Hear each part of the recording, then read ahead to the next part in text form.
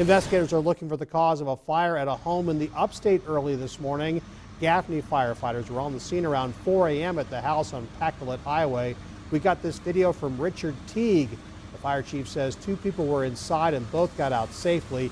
It took about 15 minutes to get the fire under control, which started in the living room. About a quarter of the home has significant damage.